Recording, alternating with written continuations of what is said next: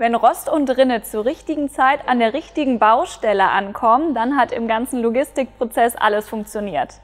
Wir stehen hier im Lager bei der Firma Anrin und Herr Bürger, hier werden täglich hunderte von Metern Rinnen produziert, aber bis die Lieferung auch wirklich beim Kunden an der Baustelle ankommt, wie läuft der Prozess ab?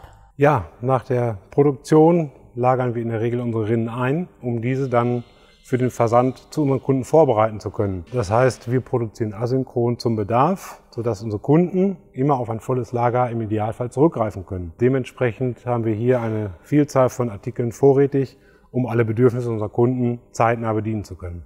Das heißt, wenn jetzt morgens eine Bestellung eingeht, wie lange dauert es, bis die Lieferung beim Kunden ist? Wenn rechtzeitig bestellt wird, das heißt bis 11 Uhr die Bestellung bei uns ist, dann wird sie erfasst in unserem ERP-System, dann in die Kommissionierung gegeben und äh, am selben Tag noch unseren Spediteuren übergeben. Das heißt, äh, die Spediteure gehen dann über ihre Sammeltransporte, über die Verteilzentren zum Kunden. Je näher, je besser. Das heißt, 24 Stunden äh, sind möglich.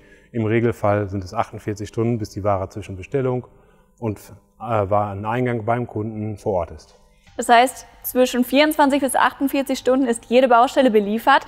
Sie liefern ja aber auch europaweit. Wo liegen denn da die Unterschiede?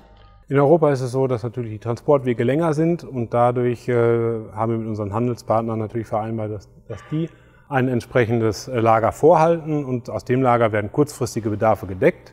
Größere Projekte werden dann aus Anrüchte abgewickelt, das heißt im Direktverkehr von, von Anrin auf die Baustelle.